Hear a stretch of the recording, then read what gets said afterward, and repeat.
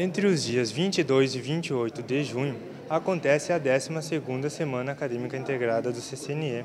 A programação conta com atividades integradas e específicas para cada curso. Além disso, acontece a terceira Copa do CCNE. Para realizar as inscrições, acesse o fsm.br/ccne. Para mais informações, entre em contato com o e-mail que aparece abaixo. Guilherme Borges para a TV Campus.